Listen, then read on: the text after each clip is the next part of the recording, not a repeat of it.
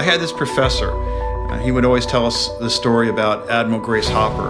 Uh, she was Harvard educated, she was a you know, computer science expert, and she had this saying uh, the most dangerous phrase in the world is, We've always done it this way.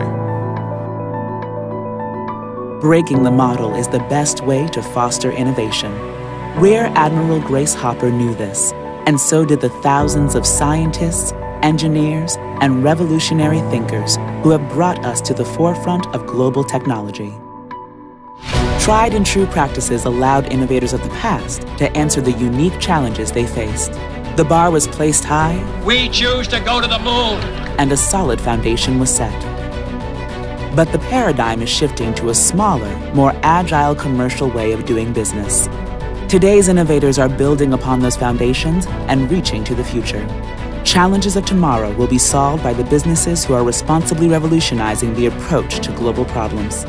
Strong collaborations will allow businesses to view innovation through fresh eyes. It's time once again to disrupt our thinking.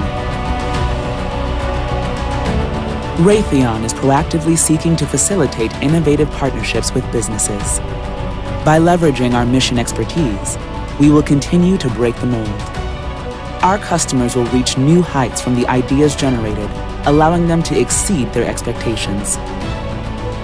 Join us as we reach to the future the commercialization of space has begun.